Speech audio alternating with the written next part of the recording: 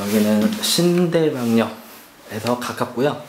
음, 큰 길가에 있습니다. 큰 길가에 있어서 여자분들이 조금 선호하는 그런 건물이고 어, 여기 창이 일단 양쪽으로 나 있고 앞에 건물과도 거리가 있어요. 잘 안 보이지만 그래서 뭐 환기나 이런 거는 잘 될 것 같고요.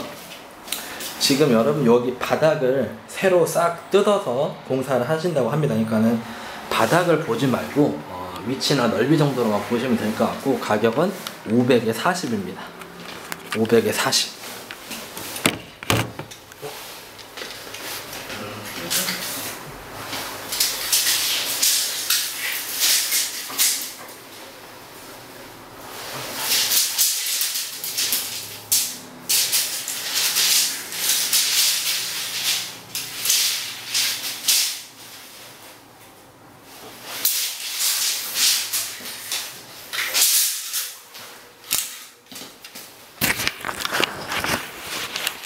여기 이쪽 벽에서 여기까지가 3m가 나오고요. 여기 벽걸이 에어컨부터 요 요쪽 창문까지 요 벽까지가 2m 80 나옵니다. 그러면 500에 40인치 치고 방 크기 괜찮습니다.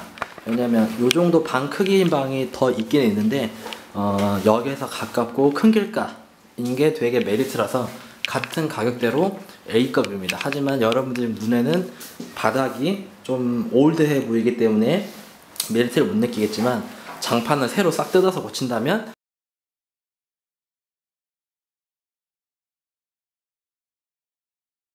같은 가, 아 관리비는 9만 원이에요. 9만 원이고 도시가스까지 포함입니다.